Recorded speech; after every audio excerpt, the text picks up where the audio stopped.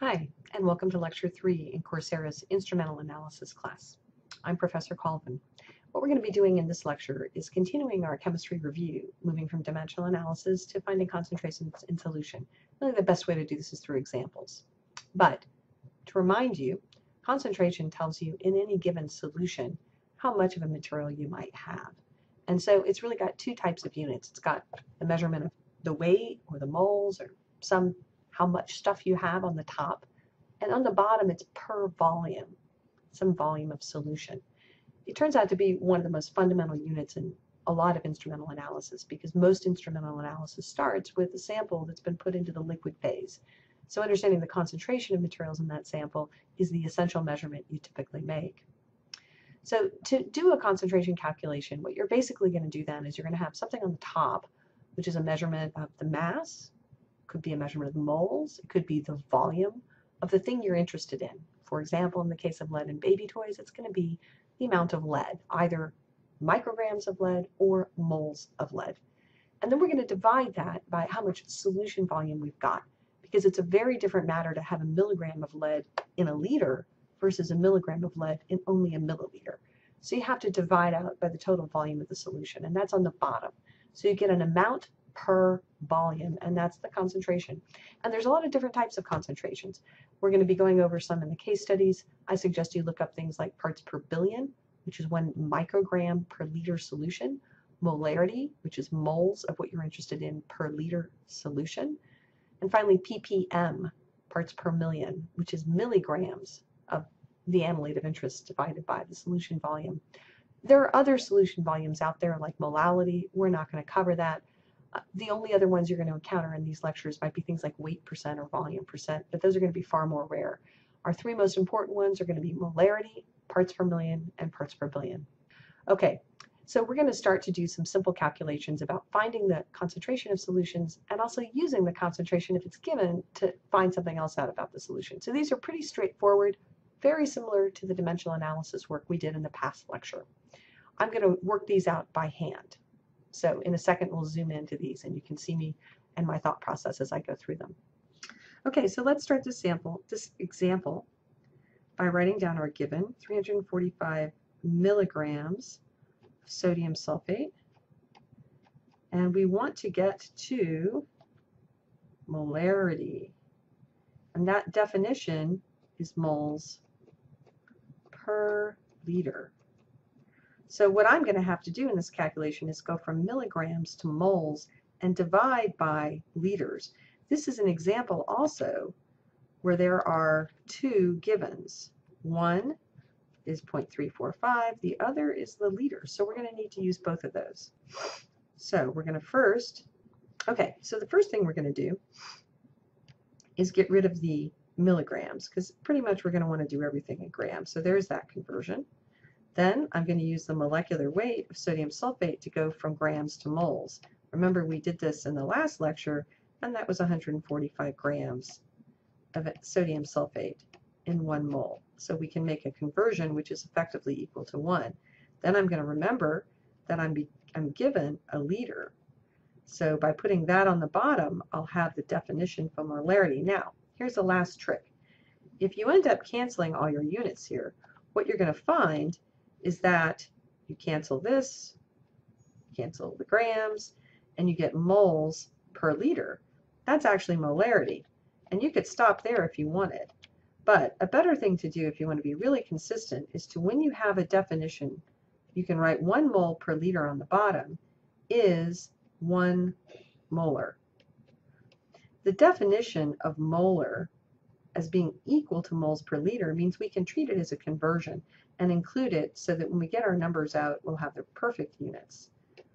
And what we get, now sometimes I'll write molar with a bar over the top to distinguish it from a big M. So what you see in this analysis is a couple important things.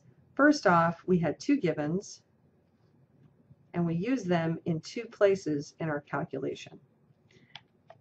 The second thing that I think is important is that we ended up using the definition of molarity as a conversion. And what that means is if one molar is equal to one mole per liter, you can write it as a conversion factor, just to be really clean about your units. Okay, let's go on to the next one. So again, we're going to start with our given. Now we're given moles, and we're given aluminum nitrate. And what we need out at the end is actually ppm. And I know that that is going to be milligrams per liter. So right away, we've got to get from moles to grams, which is a very common thing to have to do. And I happen to remember the molecular weight. If I have one mole of aluminum nitrate, I know that that's going to be equal to 26.98 grams of aluminum. Now, I did a funny thing here, and I want to make sure that that's obvious to everybody. We know we have one mole of aluminum nitrate. And in one mole of aluminum nitrate, there is one mole of aluminum atoms. And if you look way up here at the top, what you're going to see is that we care not about aluminum nitrate, but about aluminum. So if we had used the molecular weight of aluminum nitrate here, we would have gotten the wrong answer because we would have been calculating the grams of aluminum nitrate. What this one says grams of aluminum. That's why we use the atomic weight here. Then what we're going to be multiplying that by is a conversion that takes us to milligrams, because remember at the end we want milligrams. Then we're going to be using our other given, which is 0.500 liter, given in the problem. And then finally, the definition 1 ppm, which is equal to 1 milligram per liter. And when we put all that out, we're going to get 5396 ppm. So what we can see is that we use two givens here and here. And the other thing we can see is the cancellation of units. This is what we want. And then finally this cancellation. And this important distinction, which is when you want something about aluminum, you have to remember to use the atomic weight and not the molecular weight. Okay, so let's do a few more examples. Okay, so let's do a few more examples. These are going to go a little bit faster. I'm going to just uncover the answers on the screen. If you want, you can pause. So we're going to start with a 1.023 molar solution of sodium phosphate, and I'm asking how many moles are in sodium, how many moles of sodium are in the sodium phosphate. So the first thing you have to know is that phosphate carries a minus 3 charge. So to make a salt, you have to have three sodiums. So you need to figure out the molecular weight of sodium phosphate, which I've already done. It's 120 grams per mole. You can go check that if you want. Now, we're going to start with a given, which is 1.023 molar, shown here. Shown here, there's our given, but remember, we're also given 10 mils. So these numbers are our two givens. And what I'm basically doing by multiplying them together is figuring out how many moles of sodium phosphate did I have in the 10 mil portion that I took out. Now remember, I figured out how many moles of sodium phosphate, but what I care about is moles of sodium. So I need to do a conversion here, and this is just like the conversion in the last example where I realized one mole of sodium phosphate has three moles of sodium. So you got to put that in, and I call that reading the chemical formula. If you read the chemical formula, Na3 PO4, it's three sodiums for every one phosphate. And that's what we're writing down here. There are three sodiums per one sodium phosphate. You multiply that all that out and you get your answer. So let's do the next example. So in this case, we're going to be asking how many atoms of aluminum are in a microliter of one part per billion. So let's think a little bit about our givens. Clearly, one given is a microliter and the other is ppb. And what you might have forgotten is that ppb is one microgram per one liter of solution. So we start with our givens, one ppb, and we're going to convert ppb right away in this conversion to micrograms per liter. So again, I'm using the definition of ppb here to do the conversion. Then as you can see, as you read across, what we're doing is converting from microliters to liters. And then we have micrograms of aluminum nitrate. We need to pull it to grams. And then we can go to grams to moles, and we get a number of moles of aluminum nitrate. Now, if you didn't know or don't remember, what you need to remember is that atoms is related to moles. through Avogadro's number. So 6.022 times 10 to the 23 of anything is equal to 1 mole. Avogadro's number is a lot like a dozen. If you have a dozen apples, you have 12 apples. Well, if you have a mole of aluminum, you have 6.022 times 10 to the 23. It's like a really, really big dozen. Okay, so what we've done in this particular line is we've calculated the moles of aluminum nitrate. Now we need to use Avogadro's number to go to atoms. So as you see here, we start with a given. We just realize that one mole is one mole of aluminum, so you don't have any factor of three like you did in the prior example.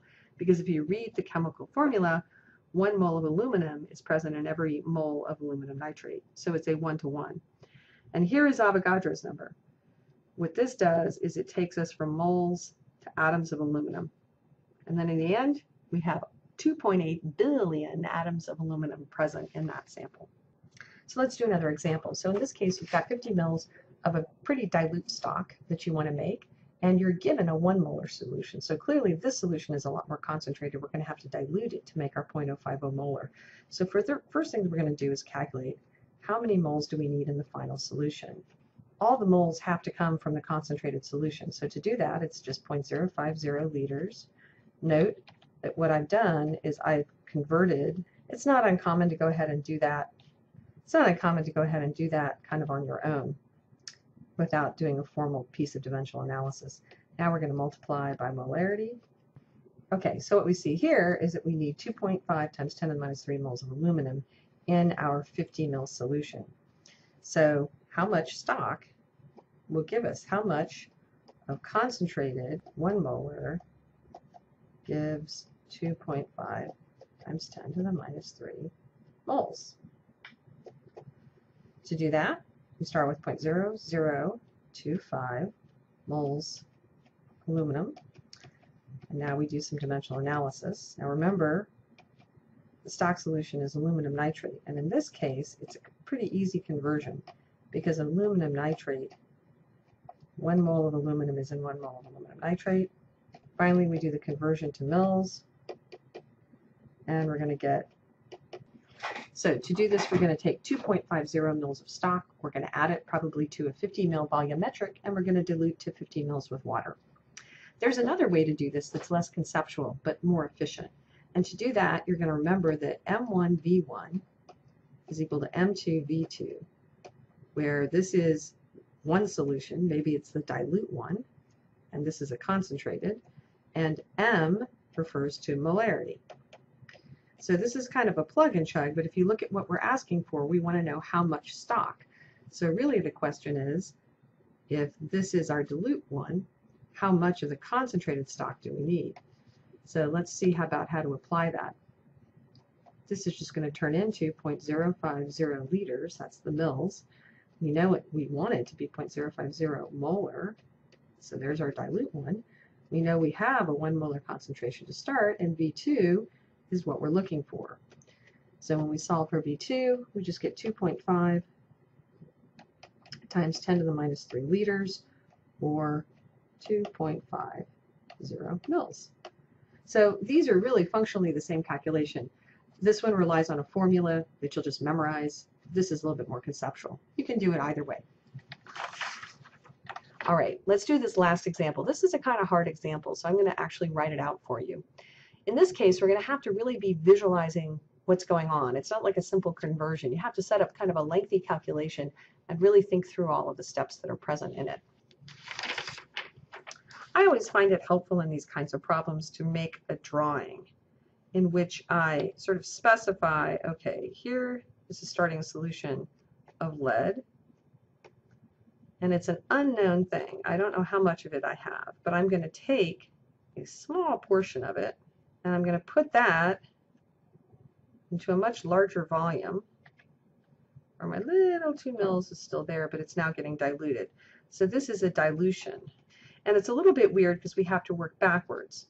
We know, for example, that we took 2 mils. We know that this is X molar. We don't know that and we put it into 0.500 liters and we got a concentration. So our other challenge is we've got things in terms of molarity and ppb, and those are both issues of things we're going to have to deal with.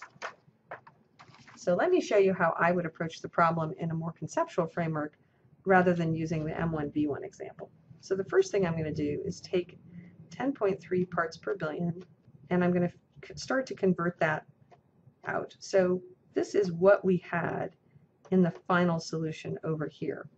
And what I've effectively done in this section is I've calculated how many, how much lead in final in micrograms. Okay, so I figured out from this then how many micrograms of lead were in the final solution. They all had to come from the same place. Now what I need to do is convert things to moles because I need molarity out at the end. I need to know molarity of this, so I need to get rid of grams. So I'm going to do that by saying for every gram of lead, if I have 207.2 grams, I have a mole. And this is, of course, just the atomic weight of lead. And now, now we're at an interesting stage because what I've done is I figured out the moles of lead that were transferred. And the problem wants me to get to molarity.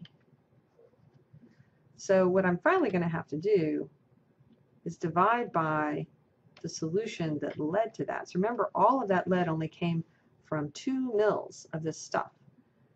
The problem is you don't want molarity in terms of mils, you want it in terms of liters, so you do this last little conversion, and you get 1.24 times 10 to the minus 5 molar in your unknown.